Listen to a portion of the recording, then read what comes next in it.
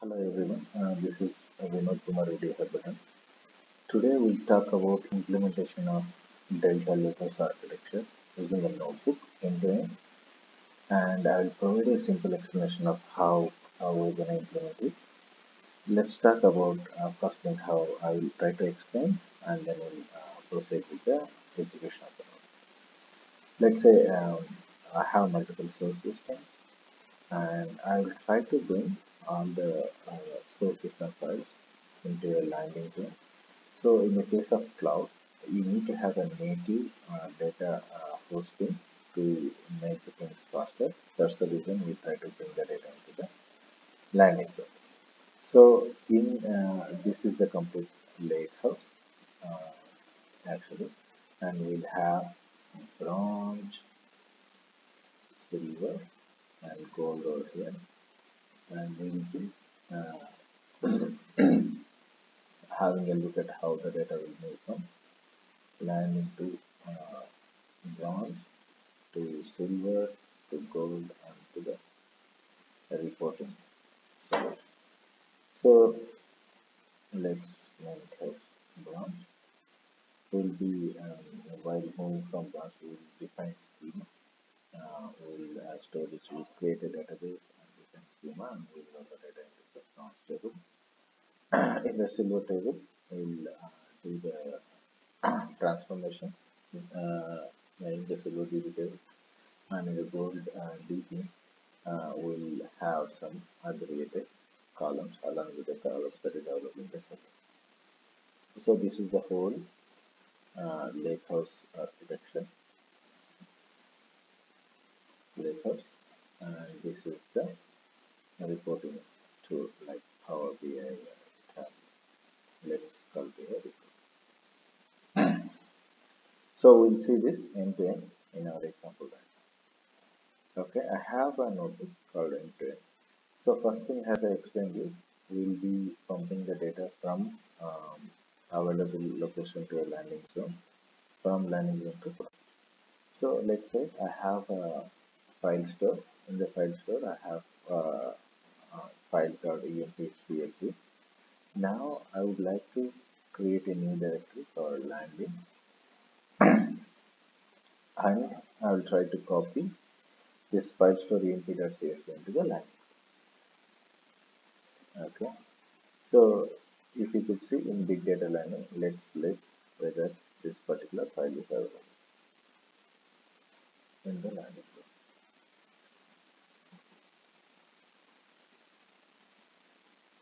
Yeah this is available in the CSV okay now since the uh, data is available in the landing zone this part is completed. So for other files also we will be doing the similar way now we'll try to load the data into the bronze. So for that we need to create a bronze database first and then we'll try to read the data and store it as a table in the bronze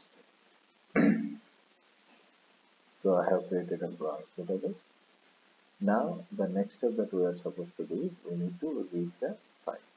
Before reading a file, I would like to um, let you know we need to create a structure of the file that if you create a structure and try to reuse the structure, it will save a lot of time in the case of big data. Otherwise, whenever we are reading uh, a file, it will scan through the whole file and it will later waste a lot of time to define the.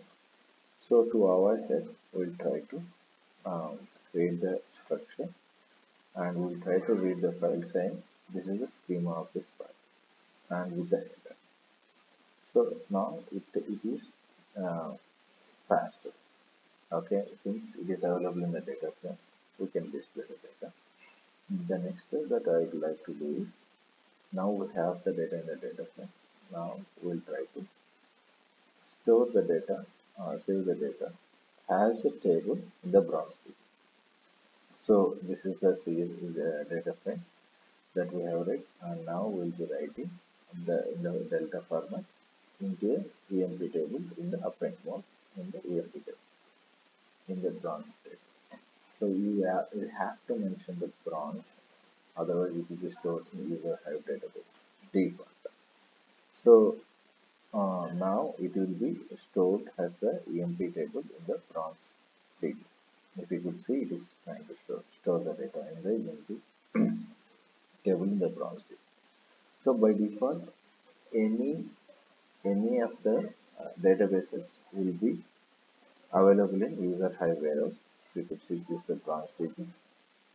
Okay, inside the bronze DB, we will see if there is a EMP table. This is the table.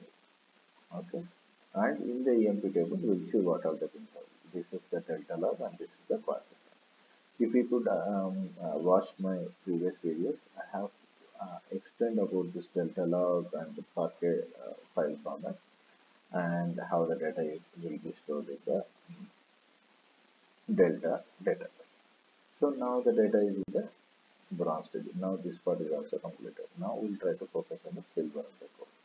In the silver, first thing is once the data is stored into uh, bronze DB, we create a new data frame.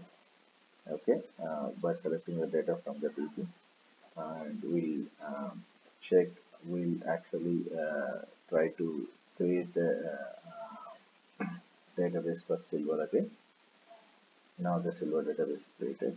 Now we have to do the transformation. We'll be doing the drop duplicates and drop linear transformation on this data frame and storing it into a new data.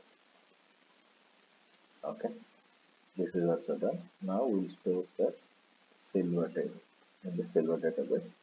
If you could see, it's the same format that we use while loading the bronze table. Okay, but we have applied some transformation. See the data is stored in the silver. Okay, this is as simple as that. We may have to, we may be using many transformations in the real time. But since this is a simple example, I try to use one or two transformations. Don't I think that these are the only transformations that we're use. Okay, now we, uh, we understand about land, bronze and silver. Now we'll understand about the gold So in the gold, um, as I explained you again we need to create a new database called gold and as I explained you, we'll try to create one or two aggregations. In this um, uh, like example, we'll try to add one more aggregated column to on top of the uh, all the columns in the silver. So I have added a take home uh, column with aggregations like salary plus commission is equal to take home. And now what we'll do, we'll try to store it in the gold data. So we are using Spark SQL we can write the SQL with the aggregations and store it in the gold data. If you could display this, you can see the home column also is the data.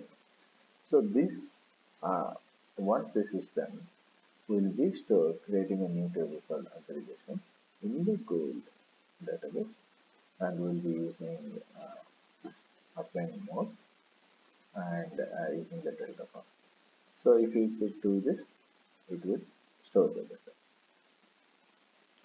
So we have two modes. One is append, another one is override. Override means it will uh, remove the table uh, and create the new table. So this is done. We can see in the history how it is, uh, like how many versions are available. I will show that in a minute. So you can see now I have a table employee aggregation. This is the the new so in the describe history, if you could see, we have two versions. One is you have create table select, another one is create a replace table select. If you use the append mode, then it will be create table select. If you use the override mode, it will be create a replace table select. This is how the things will be stored in the history. So this is uh, this is the whole uh, explanation of everything that we have done over here in the example uh, that I, I wanted to explain to you. Hope you enjoy this video. Thank you. We'll meet again.